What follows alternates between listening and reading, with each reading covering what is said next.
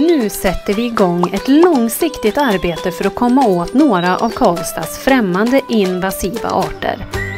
De är ett hot mot den biologiska mångfalden och slår helt enkelt ut våra vanliga svenska blommor. Men vi behöver din hjälp. Håll utkik efter de här invasiva arterna. De har inte här att göra.